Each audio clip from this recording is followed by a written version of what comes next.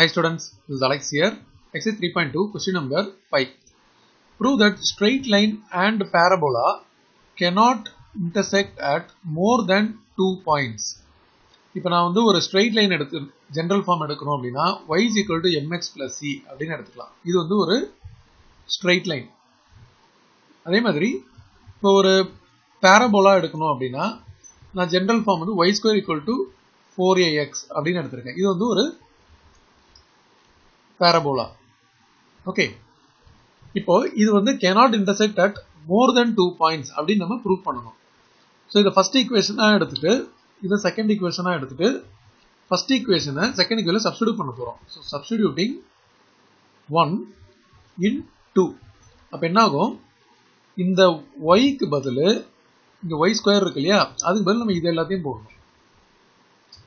அப்போ நமக்கு வந்து m x plus c whole square அப்படின்னு வரும். Equal to four a x இதோட expansion so m square x square plus two m c x plus c square minus four a x equal to zero இதை ஃபர்தராக rearrange பண்ணும்போது m square x square plus two m c minus four a காமனாக எடுத்துட்டோம்னா x தனியாக வந்துடும் அதாவது இந்த first term and last term அடுத்தது c square equal to zero அப்படின்னு போட்டுருக்கோம். இது வந்து ஒரு quadratic equation so number of roots cannot be more than 2 therefore straight line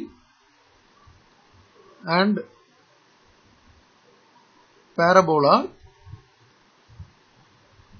cannot intersect more than 2 points